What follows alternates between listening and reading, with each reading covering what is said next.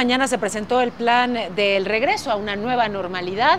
Será gradual, privilegiando la salud. Tiene tres etapas, la primera a partir del 18 de mayo. Ese día reabrirán 269 municipios de 15 estados que no tienen contagios. En una segunda etapa, que irá del 18 al 31 de mayo, se prepararán ah, para una apertura el primero de julio en la tercera etapa con un semáforo de riesgos por regiones verde, amarillo, naranja y rojo, dependiendo pues el nivel de alerta y de propagación. El presidente dijo que este plan es voluntario, quien no quiera adoptarlo por las distintas razones pues no habrá ningún problema se admite la discrepancia, es decir, autoridades locales podrían tomar distintas medidas. Para la reanudación de actividades, el Consejo de Salubridad aprobó que la construcción, la minería y la fabricación de equipo de transporte sean actividades esenciales, que empresas y establecimientos apliquen medidas sanitarias, que se liberen las restricciones para actividades escolares y también para actividades laborales en los municipios sin contagio.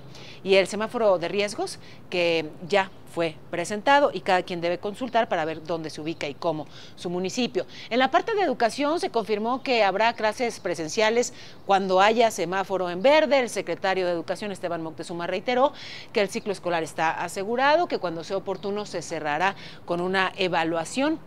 Los estados de Nuevo León, Sinaloa, Coahuila, Baja California Sur, Jalisco, Morelos y Tamaulipas confirmaron que van a terminar el ciclo escolar a distancia. O sea, los alumnos en esos estados vuelven a verse hasta agosto. Y al menos otros 10 estados dijeron que las clases presenciales se van a reanudar pues cuando las condiciones sanitarias lo permitan.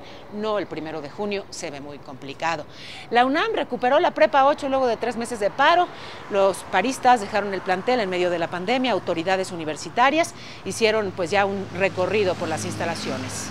Y por la pandemia del coronavirus, del 13 de marzo al 30 de abril se han perdido 750 mil empleos formales. Falta sumar lo que va de mayo y todos los empleos informales que pues claramente también se han perdido.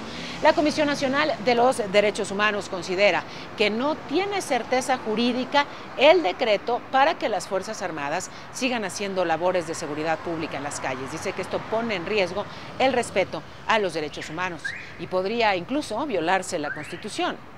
Tenemos una nueva herramienta para que puedan seguirnos siempre, para estar conectados. Aquí las instrucciones para que bajen la app y nada nos separe. Y la banda Molotov hizo una adaptación de una de sus canciones más famosas para pedir que la gente se quede en casa en esta pandemia. Ahora se llama Juntos y es Molotov.